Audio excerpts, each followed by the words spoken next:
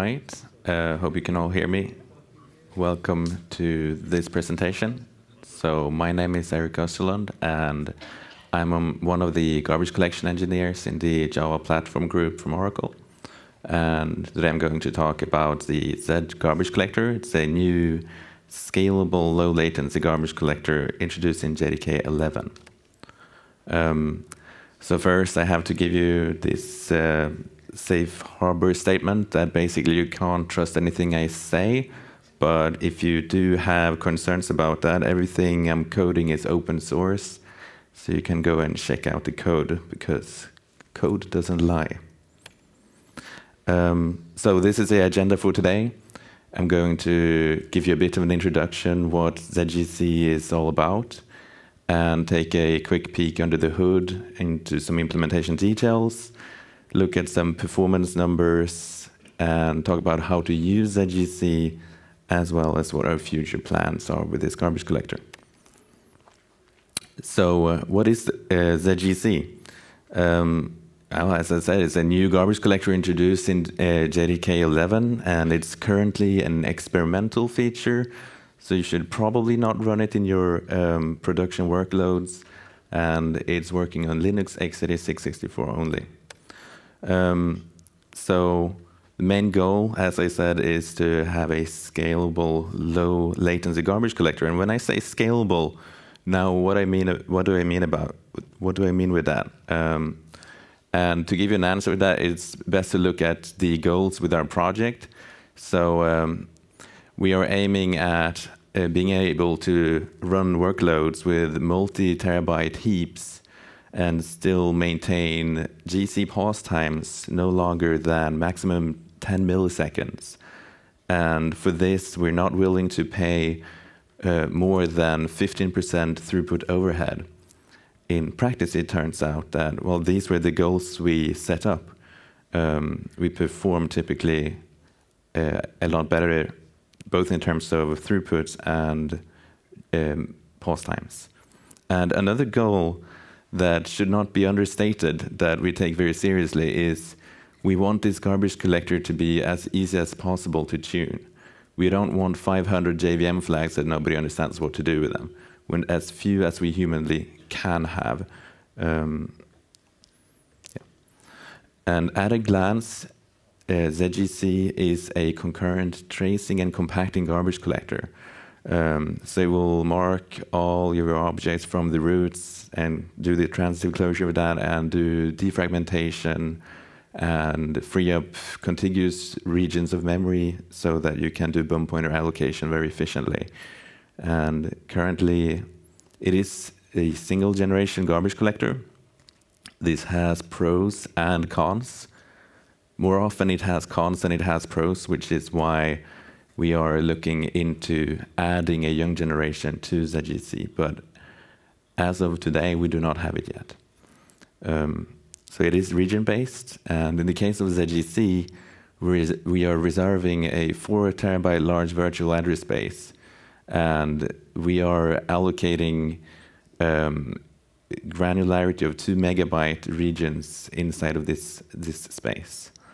Um, and it is NUMA aware, so when you allocate objects from a thread, we'll try and give you memory locally to that node so that you can scale your workloads to larger machines without um, overheads.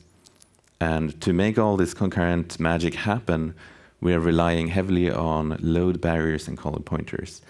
And what that means, uh, we'll look into a bit more in detail in a, in a moment.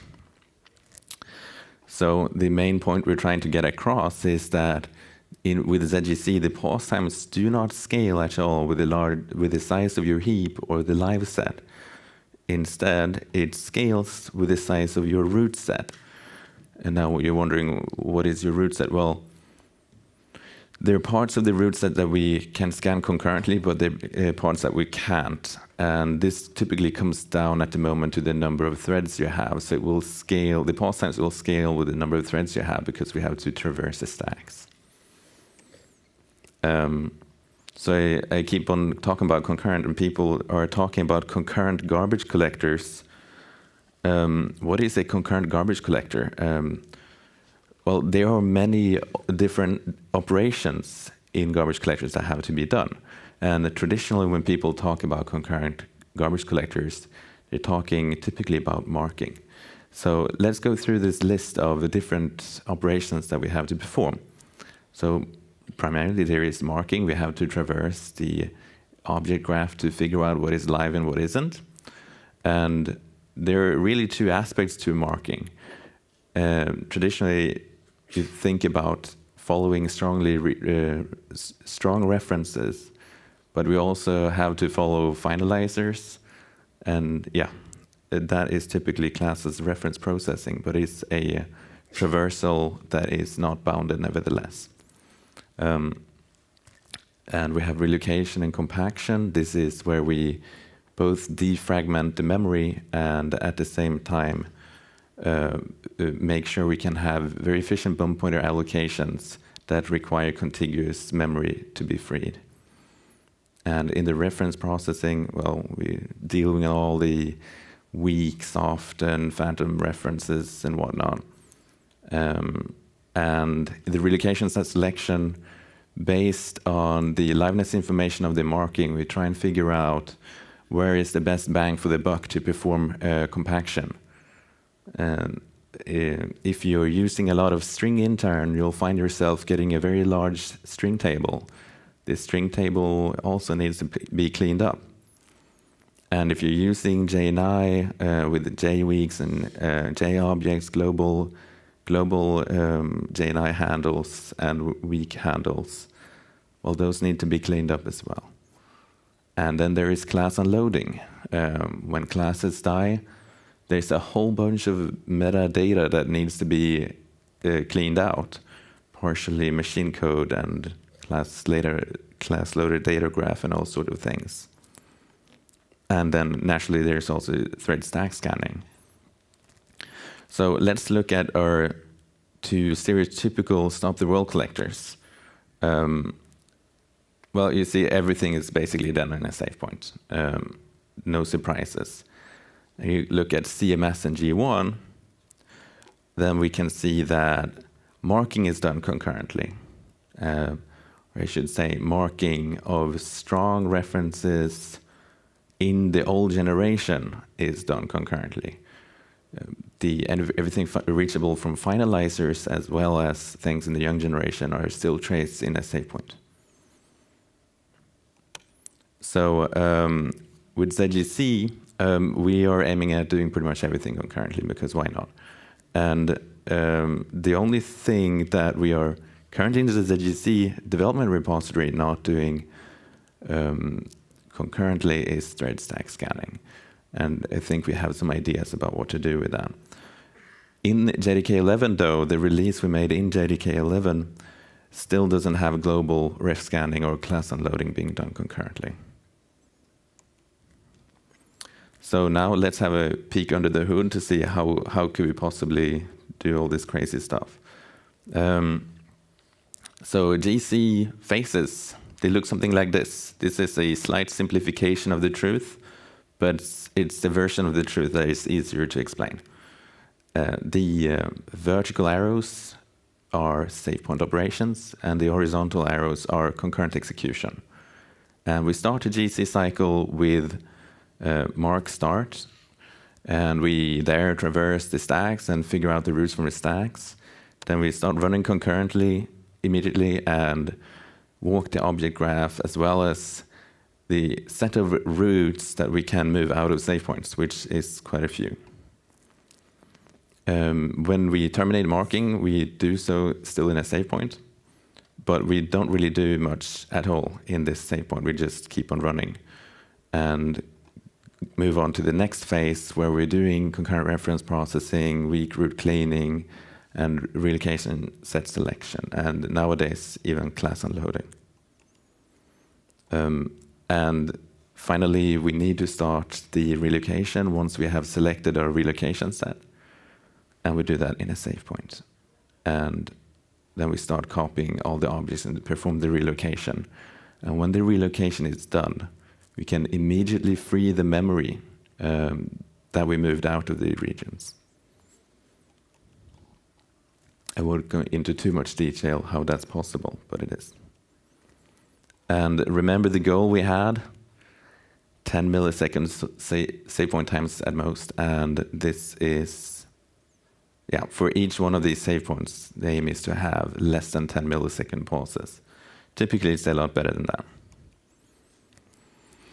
So the, the core of this algorithm, I suppose, to achieve this is colored pointers. Um, the idea is that we're using 64-bit pointers, and in these 64-bit pointers, uh, there's a whole bunch of, uh, of uh, bits that are not being used. So we put in our metadata in those bits, and that way, for each different GC phase, we can know which pointers are out of sync and lazily perform operations that would otherwise have to be done inside of safe points due to this, this inherent use of 64-bit pointers, we do not support 32-bit platforms by design, and we do not support compressed oops, which seemed like a reasonable trade-off for a GC aiming to be scalable.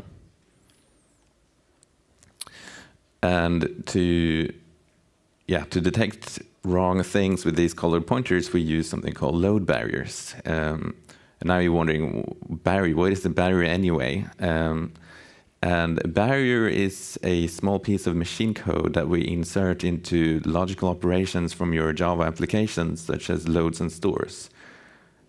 Almost all collectors use write barriers to do their upkeeping, uh, bookkeeping, I should say. Uh, but in ZGC, we use load barriers. And in these load barriers, we can check if the pointers have the wrong color. And if they have the wrong color, we can basically paint them the right color and stick them back in and fix them up and take whatever action required to fix up this color. Kind of abstract way of putting it. Uh, so let's let's take an example here. Let's say you have a person class, and this person it has a name, which is a string. It has a few primitive values. It's uh, an age and a, and a height. When we load this name field, we're performing a heap access, a heap load, and that is where we need to put in a load barrier. So what happens if we create new local variables and assign them to, to this name? Well, that that's not a heap access. It's not a heap load, so we don't need any load barriers there. And if we're calling a method, well, again, there is no heap access, so we don't need any barriers there. And if you read these primitive values like the age, well, once again, there is no there is well there is no reference load from the heap. Therefore, there are no pointers with the wrong colors going on here. So we don't need any barriers there either.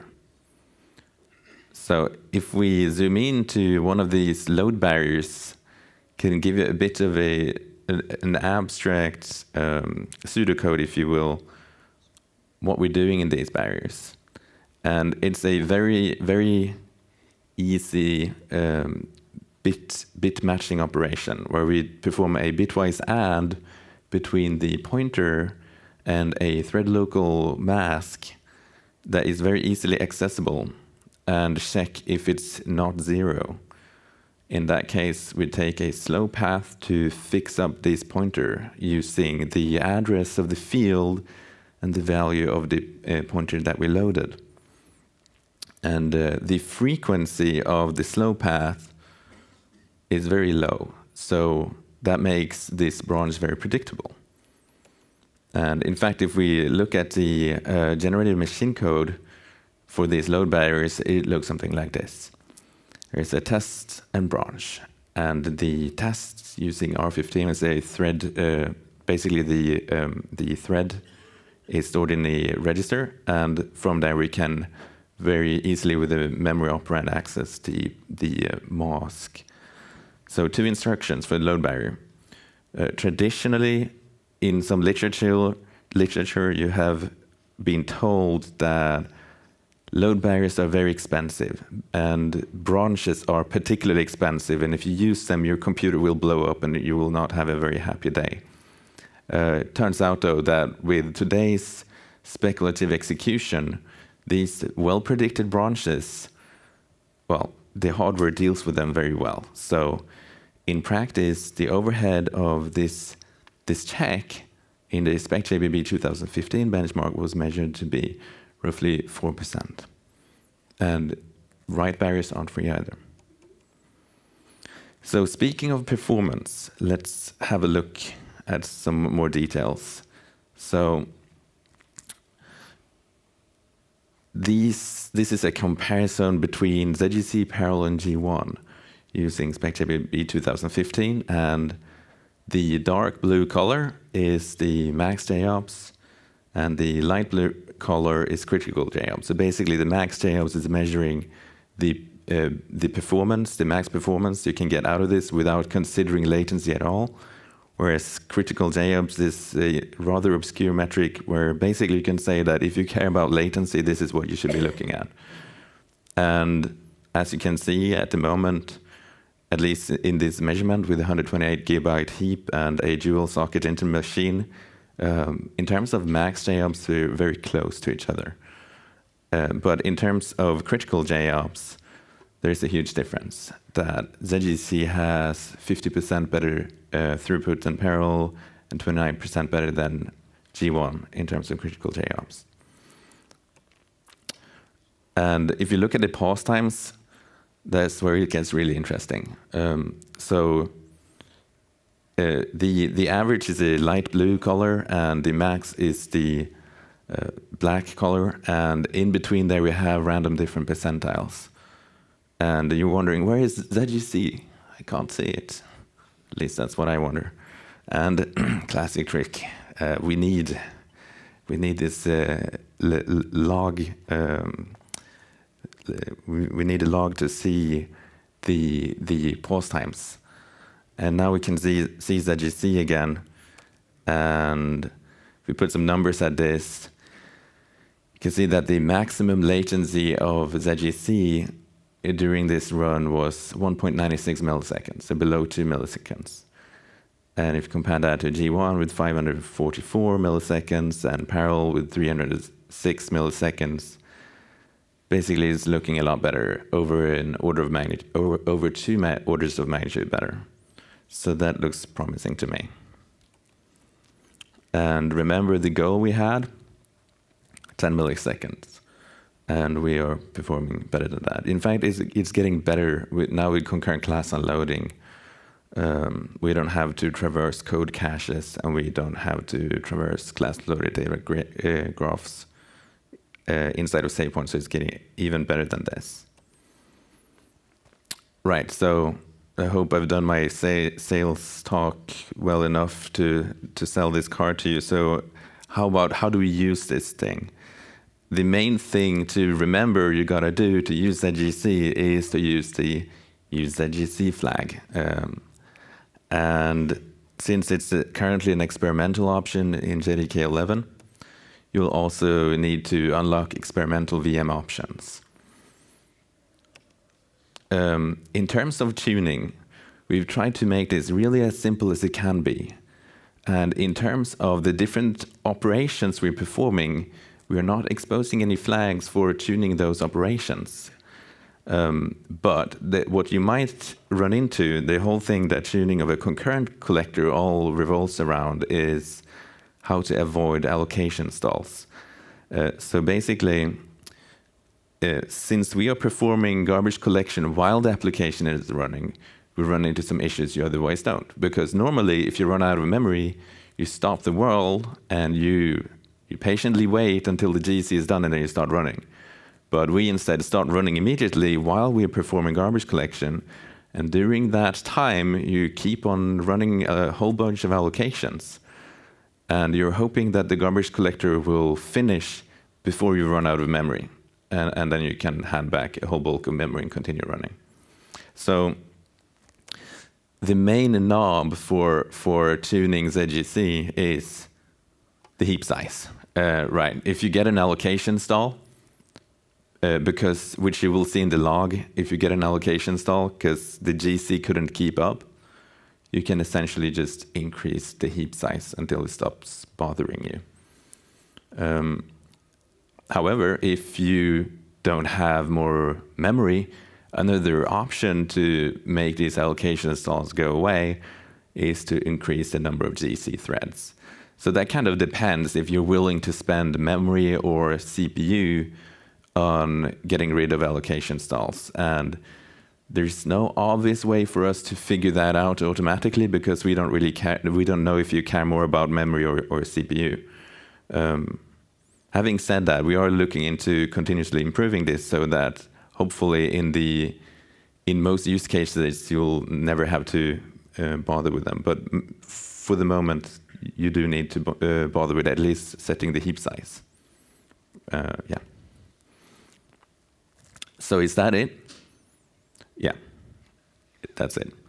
Um, so in terms of logging, if, if you just can't wait to look at all the numbers and see what is going on under the hood, um, these are the recommended uh, logging options. So you have the basic and the detailed version. And yeah, the, the, basic version will give you something like this.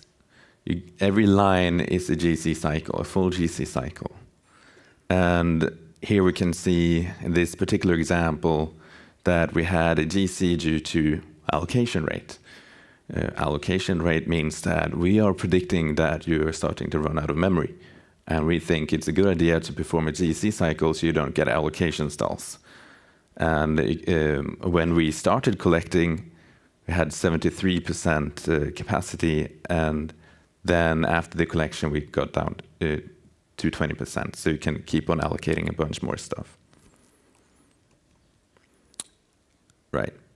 So if you look in the detailed view, you get a whole bunch more information. So for all of you out there who just love reading all the details, here we go. Um, so you can look at the different different phases of the GC and zoom into that. The lines starting with pause, they are safe points. And those are the ones you should be really looking at, and you don't want those to take too long time. Uh, and the ones starting with concurrent, well, as you can guess, they're running concurrently to the Java application. Um, so in this particular example, as you can see, the three safe point operations were uh, less than a millisecond, another one less than a millisecond, and one just above a millisecond. And the concurrent phases uh, mark marking seems to be taking the longest time, 1.1 second, and relocation 645 milliseconds. But you don't, you don't, the application doesn't need to wait for that. It just keeps on running at the same time, so it's less of a problem.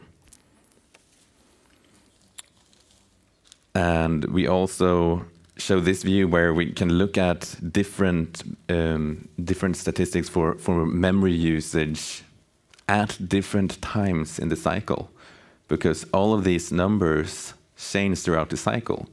In a classical stop the world collector, you would have one symbol point of, of measurement, but here we have multiple. And to be as transparent as possible, we are showing all of these uh, different data points. So the capacity is how much of the, uh, the allowed memory the JVM is hogging.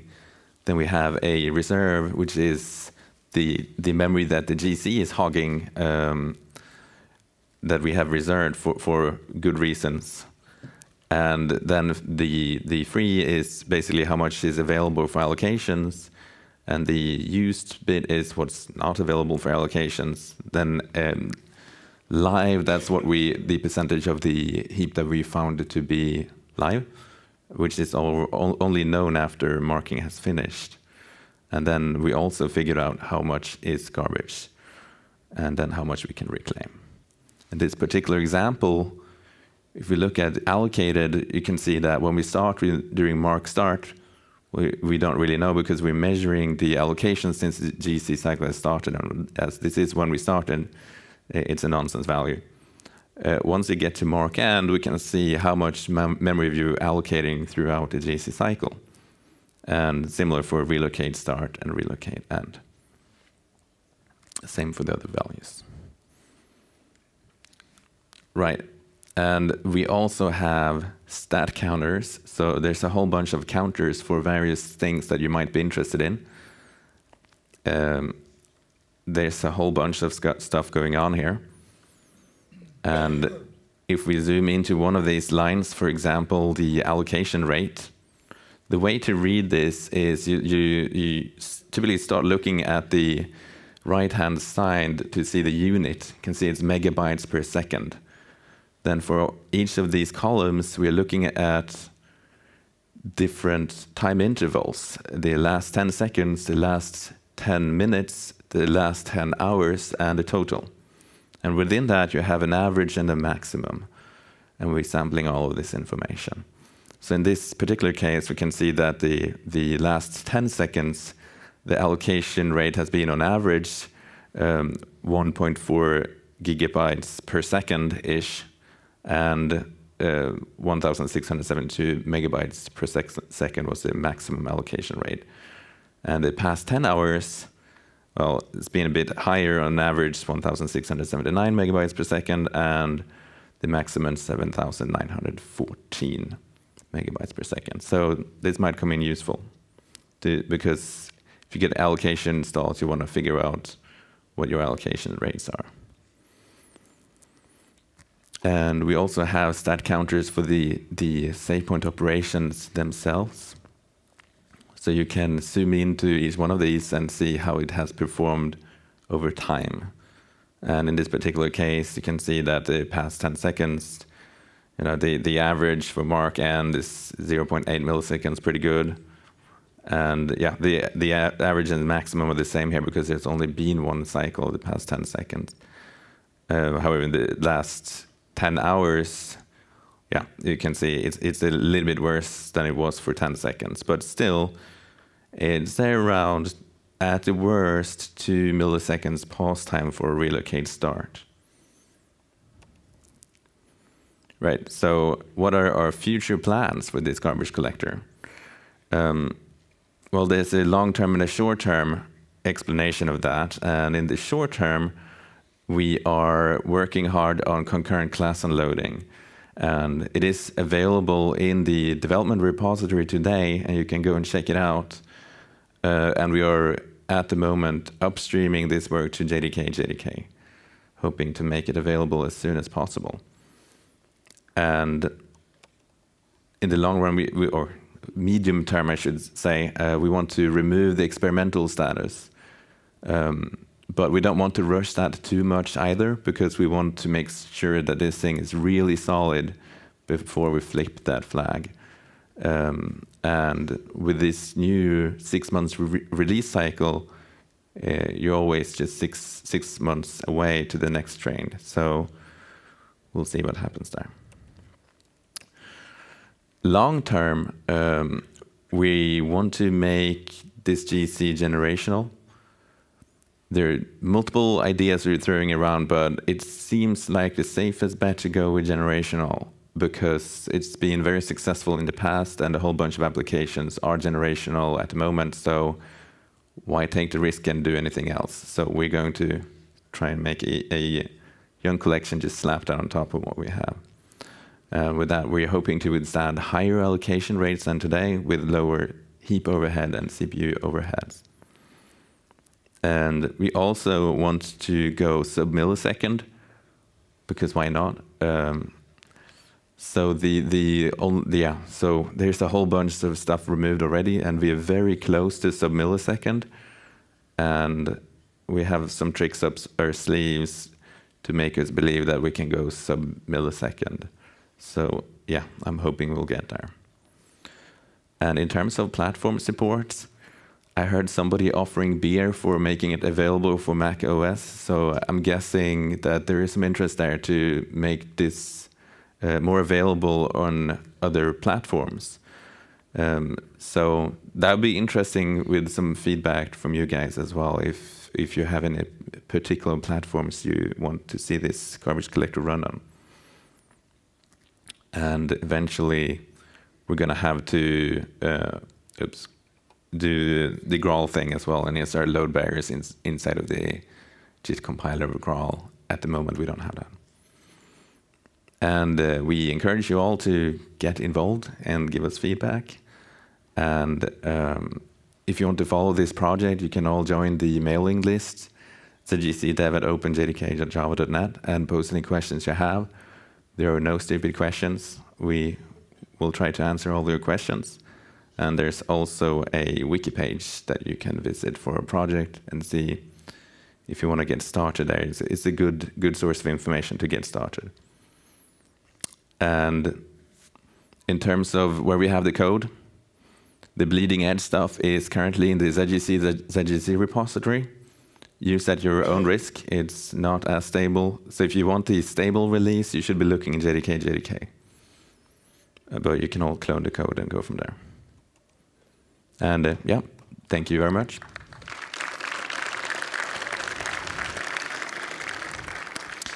So now, if there are any questions, I'm very happy to answer questions. Yes.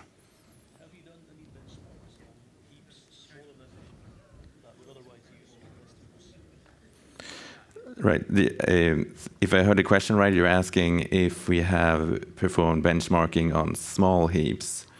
Uh, we have, and we. So our main focus has been large heaps, and that's why we've been mostly measuring large heaps. But that doesn't mean you can't use this for small heaps. So it's it's an excellent question that even though you don't have a multi-terabyte heap, you might still not want to have all these GC pauses ruin your day. And for heaps, even less than one gigabyte, it's still, you know, if you care about latency, it still performs really well. Um, but we haven't spent our focus on optimizing in that domain. And some stuff is, it is just silly things going on. Like, for example, we have a, a, a certain sampling rate where we sample whether we should start a new collection. That needs to be more fine-grained if you're running on really small heaps. But we haven't really bothered um, looking into the details of fixing that because it's, it's not our domain. All right. Yes? How you default, uh, uh, define default number of threads for concurrent uh, operations? Um, yeah, good question. Let's see if I remember this correctly. Uh, there's a certain fraction of the available CPUs. I don't recall exactly what the fraction is, but it's something that we thought seemed to be making sense in general. Um, I think it's, it's number of available cores divided by eight, I think, something like that.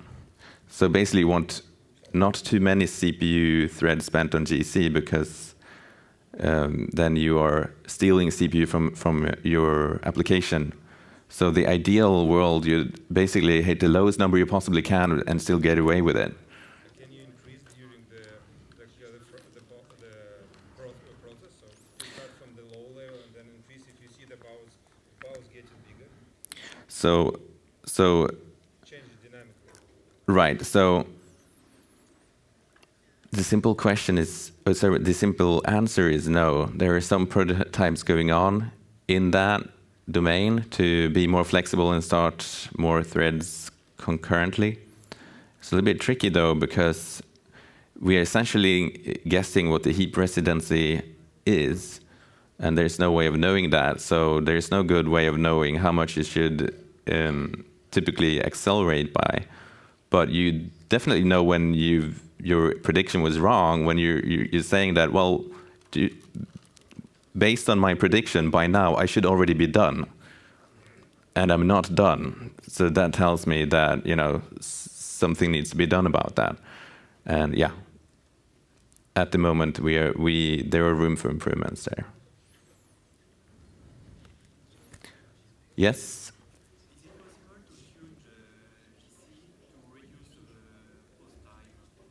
Sorry?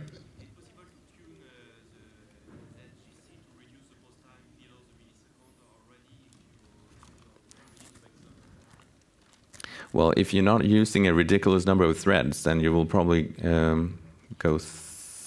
yeah, they will. That's the main thing that you, your application can tune at the moment, because that's basically what we're doing. There's some silly management references as well, like 20 of them or something, but that doesn't really count. Um, so yeah, if you if you reduce your number of threads, then yes. But since it's proportional only to the root size, there are really few things that you can um, affect there. Yes.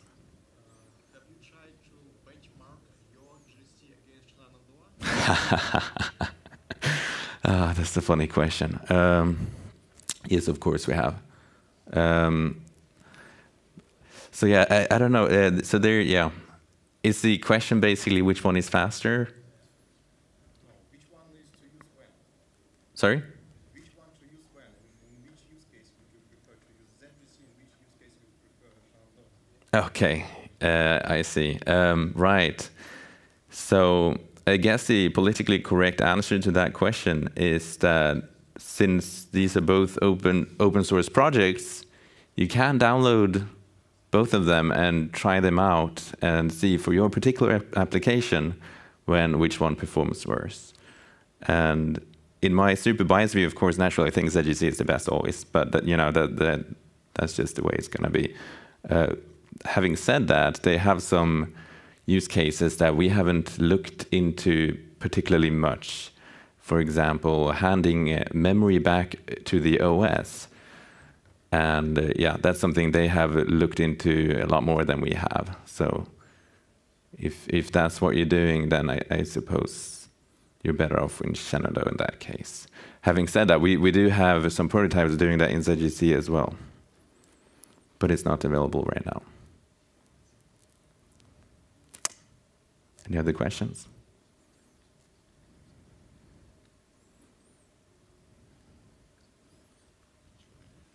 All right. Well, thank you for listening.